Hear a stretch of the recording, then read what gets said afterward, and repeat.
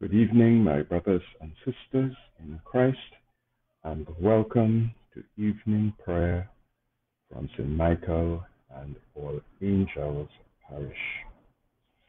We begin with the seasonal sentence for Christmas found on page 60 and the pages that are to follow. God is love. This how he showed his love among us. He sent his only Son into the world that we might have life through him. Hear us, O Lord, for your mercy is great.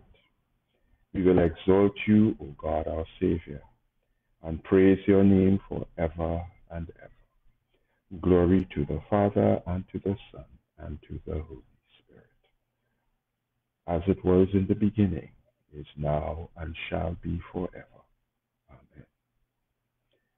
Father, we come together in the name of your Son, Jesus Christ, our Redeemer, to offer you our worship, praise, and thanksgiving. To you belong all power and glory. You are the source of all goodness. Let our worship bear witness to your peace and saving power. Through your Spirit, May we ever rejoice in the abiding presence of our risen and ascended Lord. Amen. The canticle found on page 64 Glory to you. Glory to you, Lord God of our fathers. You are worthy of praise. Glory to you. Glory to you for the radiance of your holy name. We will praise you and highly exalt you forever. Glory to you in the splendor of your temple. On the throne of your majesty, glory to you. Glory to you seated between the cherubim. We will praise you and highly exalt you forever. Glory to you, beholding the depths in the high vault of heaven. Glory to you. Glory to you, Father, Son, and Holy Spirit. We will praise you and highly exalt you forever. Lord, we pray to you for the forgiveness of our sins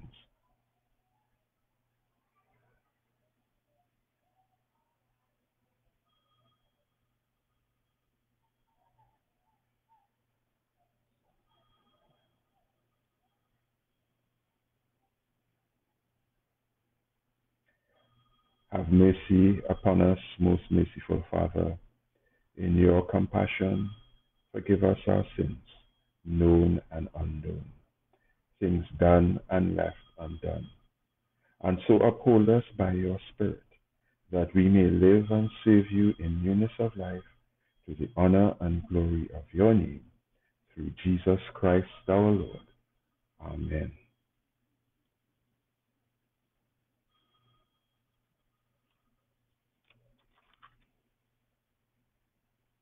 Grant, merciful Lord, to your faithful people pardon and peace, that they may be cleansed from all their sins and serve you with a quiet mind through Jesus Christ our Lord. Amen. The hymn for the, the psalm, appointed psalm for this evening, is Psalm 72, found on page 550. Give the king your justice, O God, and your righteousness to the king's son, that he may rule your people righteously and the poor with justice, that the mountains may bring prosperity to the people, and the little hills bring righteousness. He shall defend the needy among the people he shall rescue the poor and crush the oppressor. He shall live as long as the sun and moon endure. From one generation to another. He shall come down like rain upon the mown field, like showers that water the earth. In his time shall the righteous flourish. There shall be abundance of peace till the moon shall be no more. He shall rule from sea to sea, and from the river to the ends of the earth. His foes shall bow down before him, and his enemies lick the dust.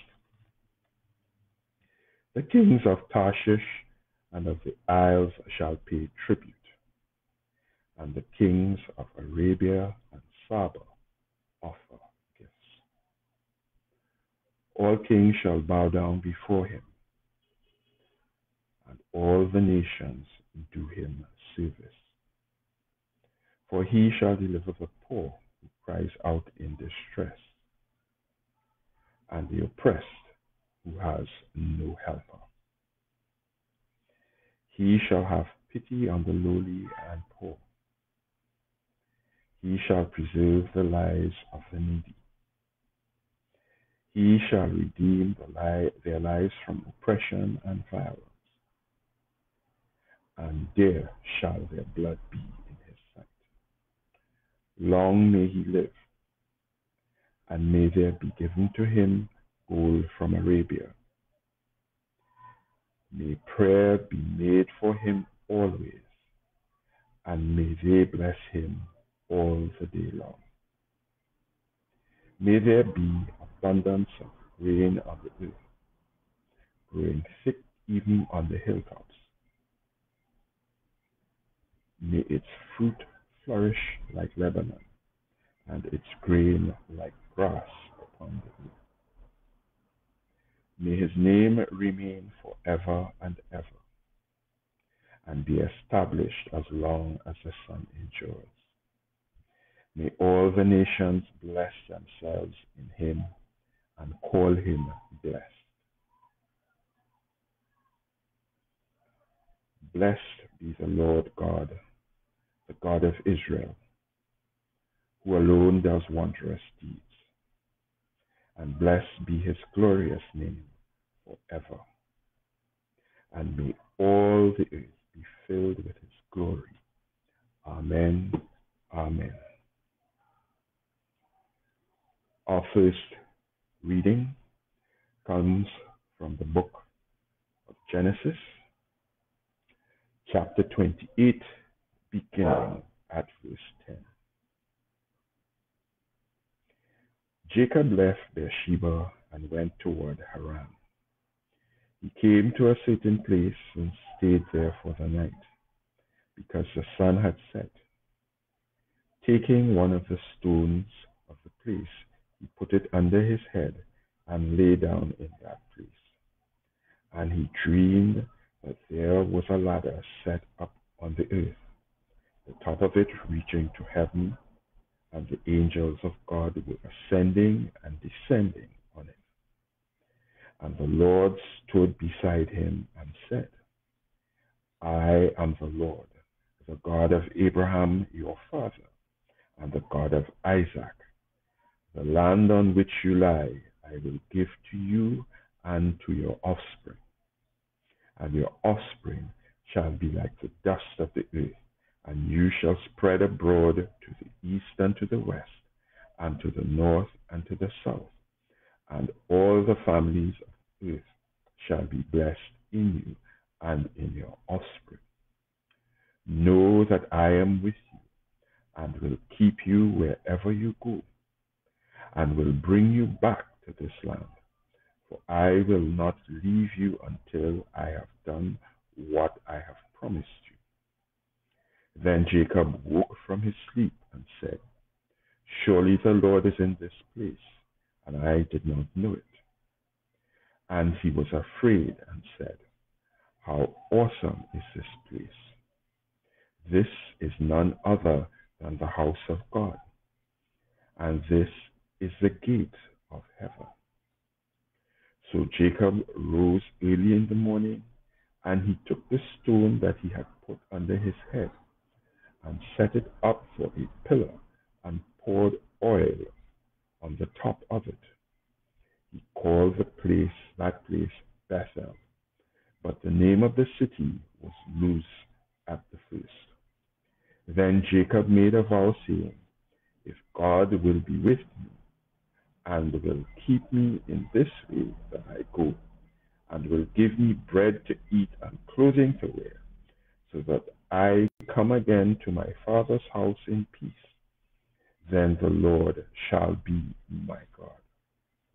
And this stone which I have set up for a pillar shall be God's house, and of all that you give me, I will surely give one tenth to you. We now return to our books of common prayer as we recite the Magnificat on page 67. My soul proclaims the greatness of the Lord. My spirit rejoices in you, O God, my Savior, for you have looked with favor on your lowly servant. From this day all generations will call me blessed. You, the Almighty, have done great things for me, and holy is your name. You have mercy on those who fear you from generation to generation.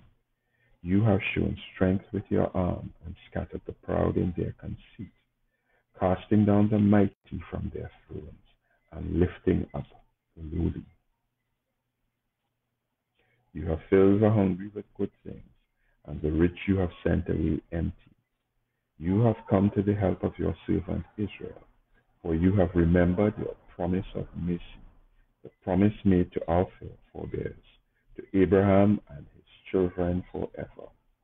Glory to the Father, and to the Son, and to the Holy Spirit, as it was in the beginning, is now, and shall be forever. Amen. Our second reading a reading from the Word of God taken from the book of First of Ephesians, chapter 4, beginning at verse 17. Now this I affirm and insist on in the Lord. You must no longer live as the Gentiles live, in the futility of their minds they are darkened in their understanding, alienated from the life of God because of their ignorance and hardness of heart. They have lost all sensitivity and have abandoned themselves to licentiousness, greedy to practice and set, greedy to practice every kind of impurity that is not the way you learned Christ. For surely you have heard about him and were taught in him as truth in Jesus. You were taught to put away your former way of life, your old self, corrupt and deluded by its lust, and to be renewed in the spirit of your mind, and to clothe yourselves with the new self centered, the new self created according to the likeness of God in true righteousness and holiness. So then, putting away falsehood, let us let all of us speak the truth to our neighbors, for we were members of one we are members of one another. Be angry, but do not sin. Do not let the sun go down on your anger, and do not make room for the devil. Thieves must give up stealing.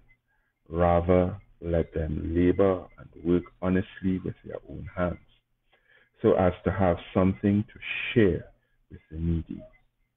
Let no evil talk come out of your mouths, but only what is useful for building up, as there is need so that your words may give grace to those who hear it.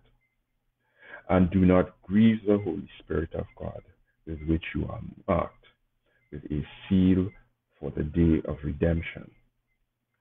Put away from you all bitterness and wrath and anger and wrangling and slander, together with all malice, and be kind to one another, tender hearted, forgiving one another as God in Christ has forgiven you. The word of the Lord. Thanks be to God. We return to our books of common prayer and we recite the canticle,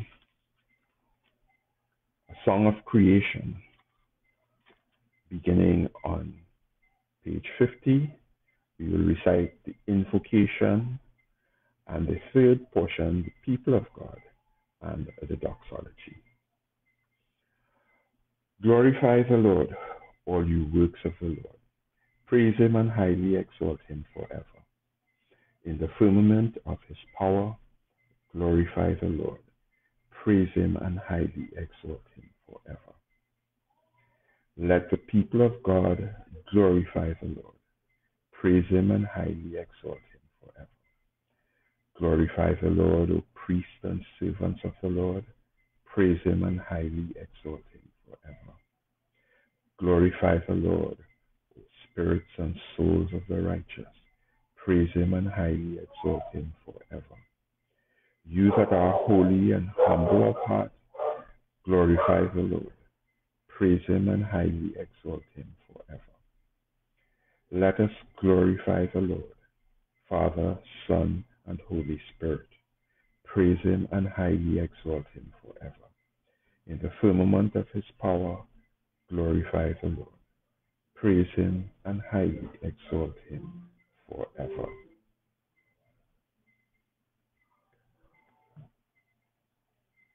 Let us pray. May the words of my mouth and the meditations of all our hearts be acceptable in your sight, O Lord, our strength and Redeemer. Amen. Happy New Year to everyone. Happy New Year. Honestly, sadly, I don't quite agree with that. Our country, our world has not been renewed, nor has it become any less violent or crazy.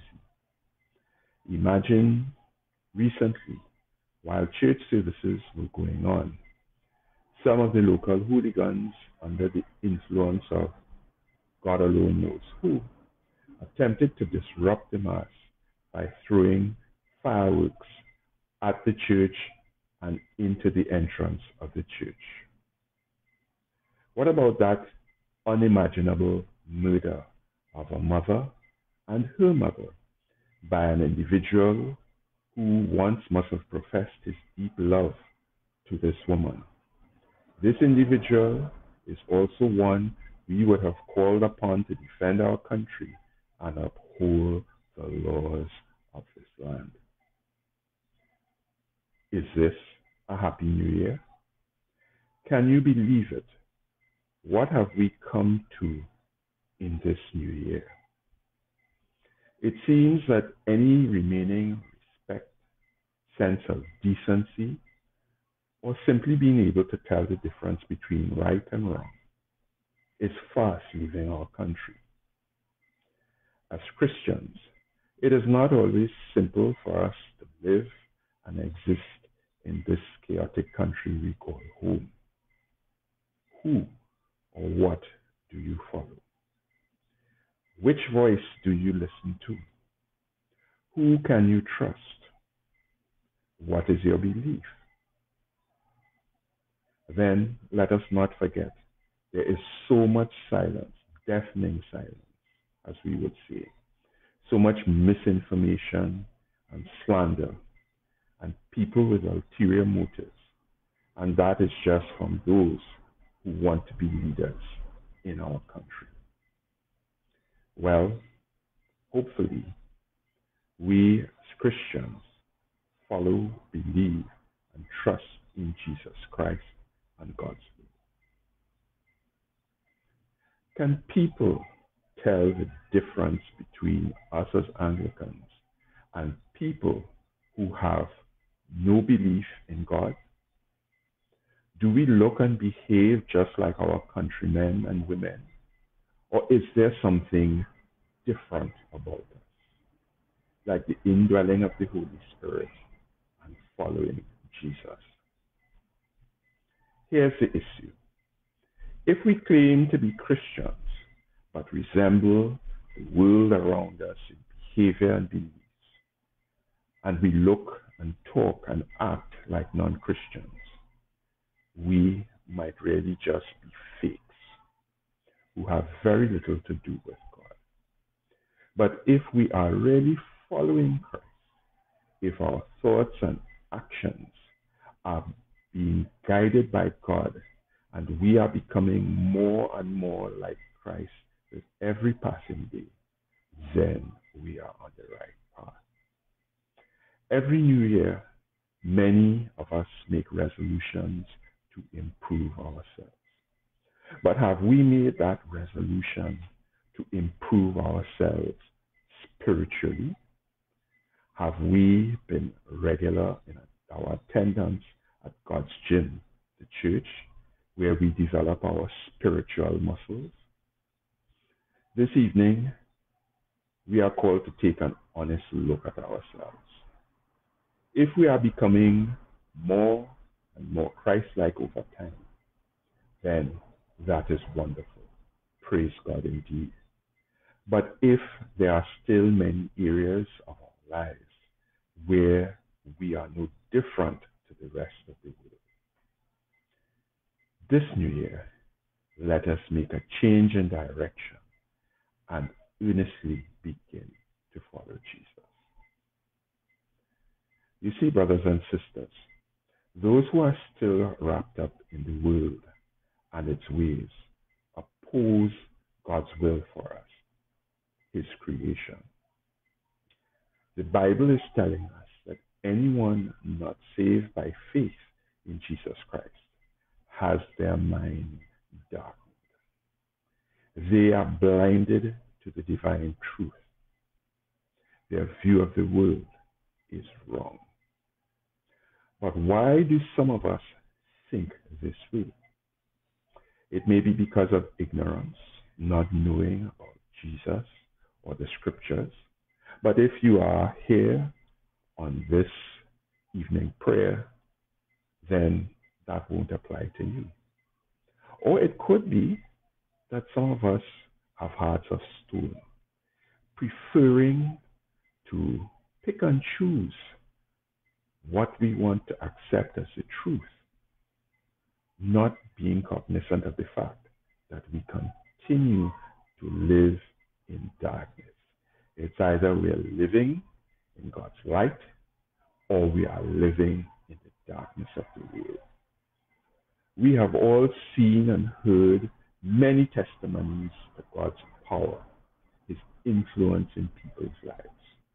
Many testimonies of God's power, his influence in people's lives. But some of us continue to reject him anyway. The majority just want more for themselves. Personal desires matter the most. It doesn't matter who is hurt by our actions. The I comes first in everything, and everyone else comes last.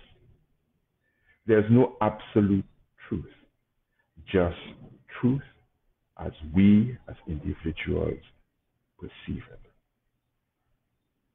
Family in Christ, ungodly thinking leads to corrupt actions and behaviors that lead to separation from the one true God. A person who rejects God's will will lead a life that ultimately will end in eternal damnation. What do we think and what we believe really will dictate how we live. But let's not forget or dismiss the point of this evening's verses from Ephesians. As Christians, we must no longer live as the world does. We must be different. Are we learning and following God's truth? Or are we actually ignorant of what it says? Have we ever hardened our hearts with things that we should be listening to in obedience to God? Have we ever selfishly put me first or my peeps or my family? Have we ever lied to make ourselves look better and make others look as if they are at fault? If we are honest with ourselves, we'll admit that we've done these things at some time or the other. So, what should real Christians look like? As Christians, we are supposed to look and think differently to the world around us. As Christians, we have to stand out as being different from those who do not know or follow Christ. We have to think and act differently to them. Our thinking is guided by following Christ's teaching and having renewed attitudes and minds. The primary way in which we as Christians change the way we think is by focusing on the teachings of Jesus, by reading and studying and learning God's word, by listening to God's direction. As we learn God's life lessons, we reprogram our minds and ourselves as to how we should behave and navigate in this world. Our love for the Bible should be a daily practice, not just something that we, in passion, listen to while sitting in the church pews. Reading the Bible and praying at least daily, and if possible, more than that, we as church would then grow spiritually, each and every one of us. We as a church would be much more unified, and many of our conflicts and arguments will never occur. God's word renews our attitudes and our minds. It helps us to think like Christ, and this would result in a change in our actions.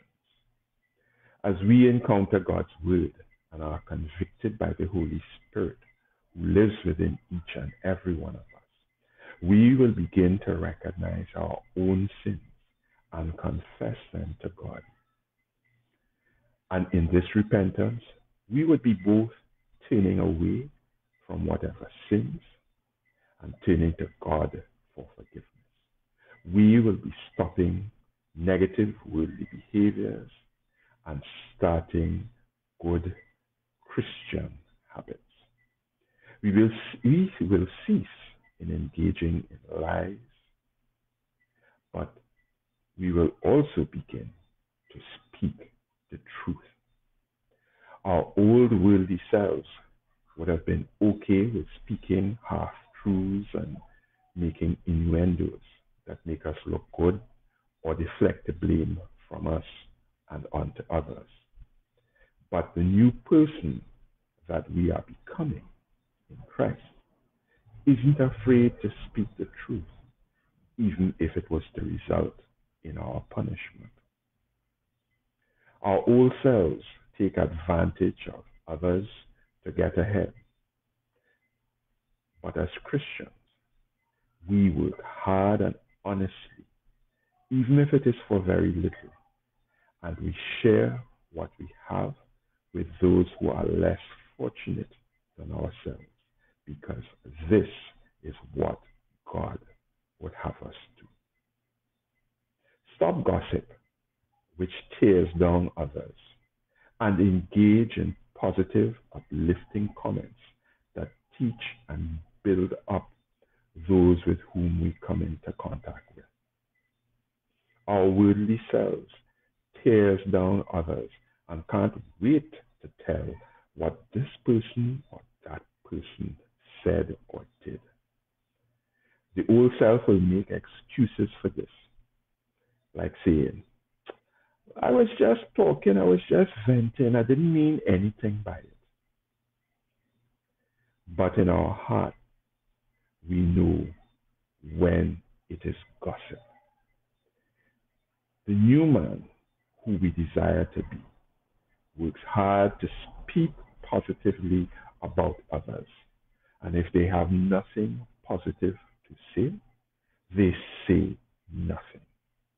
The new self goes above and beyond to lift others up with their words, instill that confidence and positivity which some of us so desperately need. Sometimes, however, the words that we must speak involve correction. But our corrections brother, to others, brothers and sisters in Christ, must not be harsh. Our correction of others must be spoken in love. As Christians, we should not judge or want to get even or hold grudges of any kind. But we should be kind, compassionate, and quick to forgive. Our old selves would get bitter and resentful and all the rest of that when things don't go our way. But this new man that we are supposed to be in Jesus Christ is kind, compassionate, and forgiving, even when others don't deserve it, even when it's not fair, and even when it doesn't make sense. Because how can we forget that this is how God treats us, even though we are sinners and can do nothing to deserve his mercy? Have we been trying to live this out? Or is the old man still alive and thriving, making us look more and more like the world around us? Or are we beginning to look and behave more and more like? If we are honest with ourselves, I think that we would have to admit that there have been times when anger, gossip, and slander have occurred in our church. Not all the time, but enough word to get around that people are not happy with others in the church. And worse than that, it also gets outside of the church where people say, hmm, if that is what believing in God is all about, I want no part of it. When we shine God's light on our sins, it gives us an opportunity to assess and repent and say, We are sorry, genuinely, and ask for God's grace. I personally am experiencing forgiveness for many of my mistakes. I see my new self struggling to come to the fore. And I know that through the power of the Holy Spirit, through the power of God, that the new man who God is calling me to will win. This will result in my mind being renewed. Repentance and transformation will be forthcoming in the end. And I will look back in astonishment at my new self. I will look at my new self in astonishment.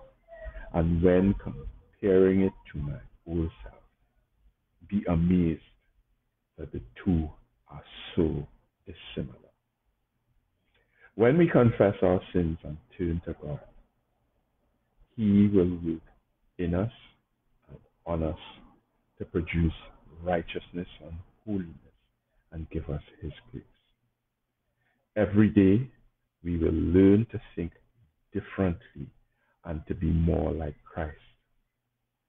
It is, it is at this point I believe that it will be a happy new year because things would have changed for the better, not only personally, but in our wider country around us.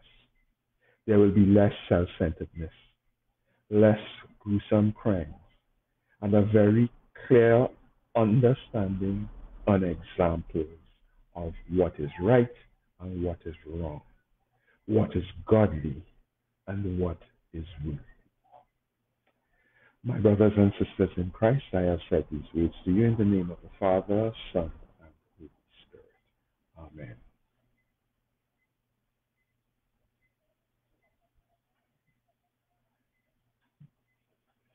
We now return to our books of the Common Prayer as we recite the Apostles' Creed. I believe in God the Father Almighty, creator of heaven and earth. I believe in Jesus Christ, his only Son, our Lord.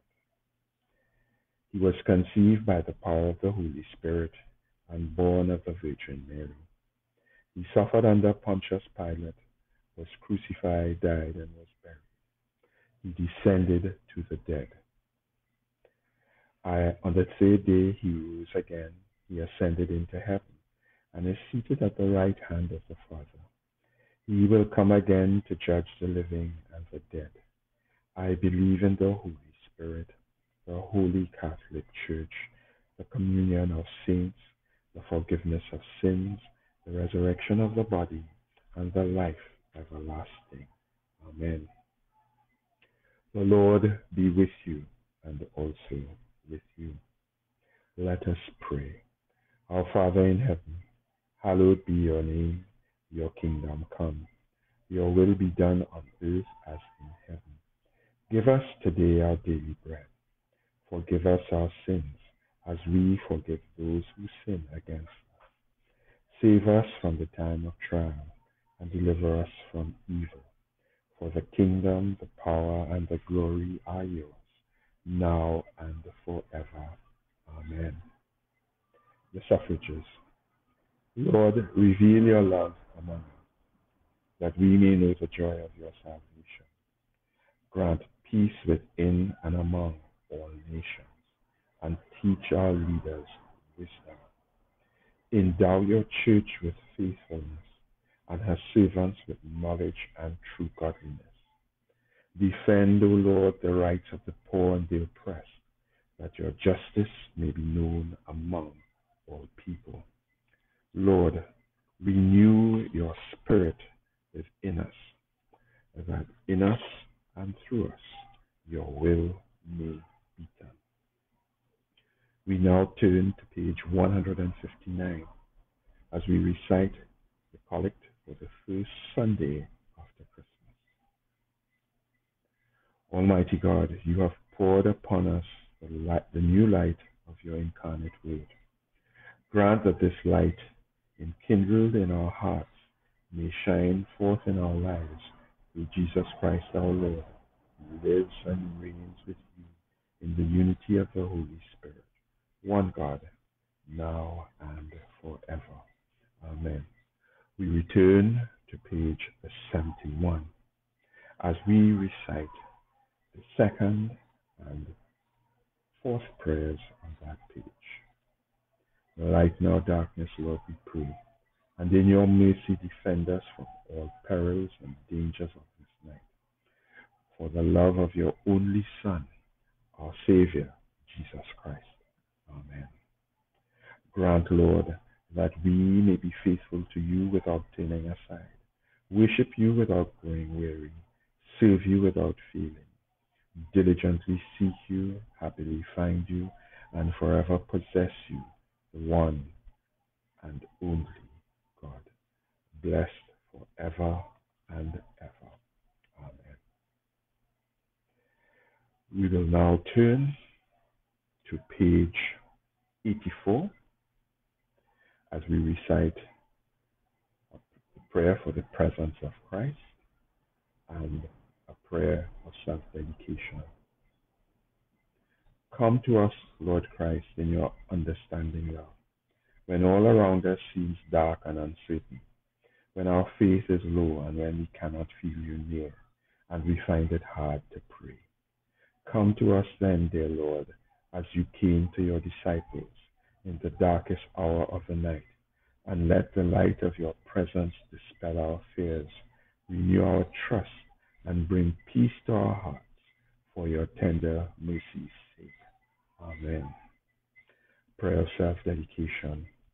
Almighty and eternal God, so draw our hearts to you, so guide our minds, so fill our imaginations, so control our wills that we may be wholly yours, utterly dedicated unto you. And then use us, we pray you, as you will, and always to your glory and the welfare of your people. Through our Lord and Savior, Jesus Christ.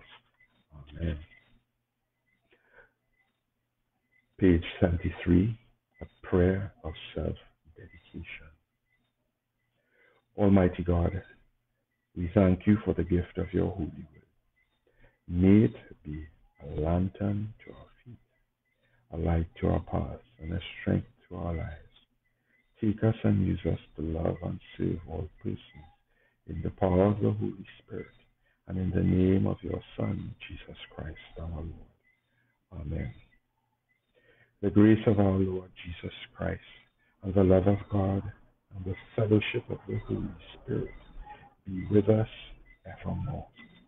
Amen.